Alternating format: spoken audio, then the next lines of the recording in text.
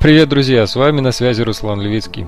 В этом коротком касте я поделюсь с вами кухней создания промо-видео. Простой пошаговый алгоритм, рождающий шедевры без претензий на авторские права. Шаг номер ноль. Выключаем компьютер и идем на природу, взяв с собой блокнот и ручку. Да, друзья, шедевры создаются вдали от цивилизации, и чем дальше вы от интернета, тем интереснее получится видео. Это наблюдение из личного опыта.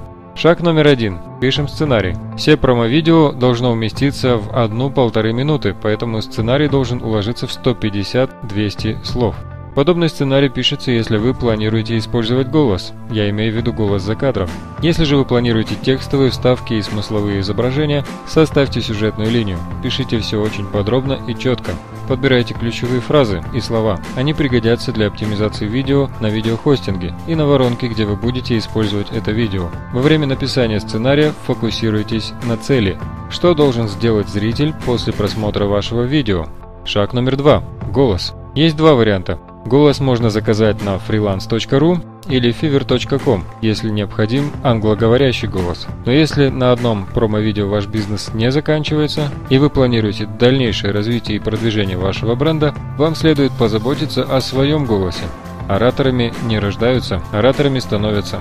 Умение звучать и говорить – это навык, который нарабатывается практическим путем. Для фиксации вашего замечательного голоса может пригодиться программа Audacity. Она совершенно бесплатна, и Google с полуслова подскажет, где ее найти.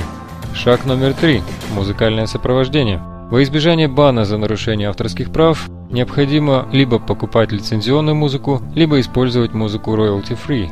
Для покупки качественной и недорогой музыки рекомендую premiumbit.com, а для поиска бесплатной музыки адреса у вас на экране. Шаг номер 4.